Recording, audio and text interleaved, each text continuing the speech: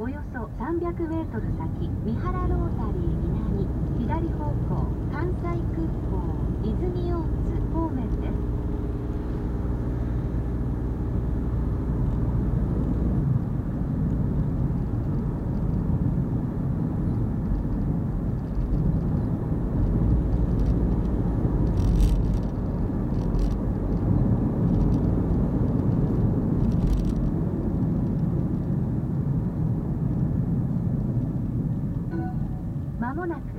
方向です。